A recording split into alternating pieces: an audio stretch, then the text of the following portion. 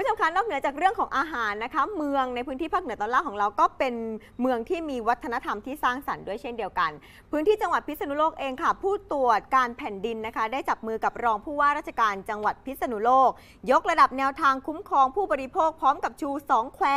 เมืองพิษณุโลกนี่แหละค่ะ ขึ้นแท่นเมืองวัฒนธรรมสร้างสรรค์ค่ะ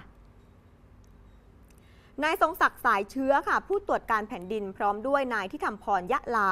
รองเลขาธิการสำนักงานผู้ตรวจการแผ่นดิน ลงพื้นที่มาที่จังหวัดพิษณุโลกค่ะ ประชุมร่วมกับนายบุญเหลือบารมี รองผู้ว่าราชการจังหวัดพิษณุโลก และหน่วยงานที่เกี่ยวข้องกว่า 20 หน่วยงานด้วยกัน ที่ห้องประชุมสมเด็จพระนเรศวรมหาราชสารากลางจังหวัดพิษณุโลกนะคะ กับการเร่งเดินหน้าหารือ ในเรื่องของแนวทางที่มีประสิทธิภาพ ในการคุ้มครองสิทธิของผู้บริโภคทั้งระบบเพื่อปิดช่องว่างของกฎหมาย ที่ง่ายต่อการถูกเอารัดเอาเปรียบ พร้อมกับวางมาตรการเยียวยาผู้บริโภคแบบบูรณาการ อีกด้านคือติดตามงานพัฒนาเมืองพิษณุโลกทั้งแบบอนุรักษ์ฟื้นฟู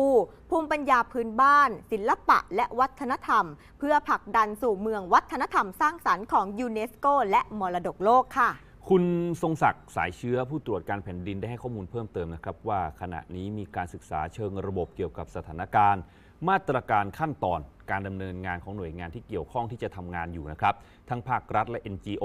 ในการคุ้มครองเยียวยาผู้บริโภคแบบบูรณาการ พร้อมทั้งทำการรวบรวม วิเคราะห์สภาพปัญหา เสนอแนะแนวทางการแก้ไขในการดำเนินงานของหน่วยงานต่างๆ จัดทำข้อเสนอแนะเชิงนโยบาย และข้อเสนอแนะนะครับเกี่ยวกับทางปฏิบัติในการคุ้มครองมาตรการเยียวยาผู้บริโภค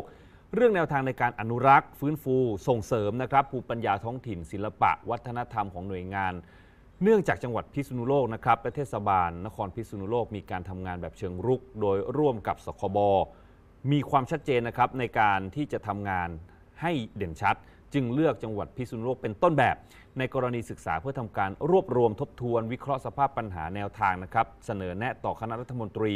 ตามรัฐธรรมนูญแห่งราชอาณาจักรไทยนะครับในปี 2560 ในหมวดที่ 5 หน้าที่ของรัฐต่อไป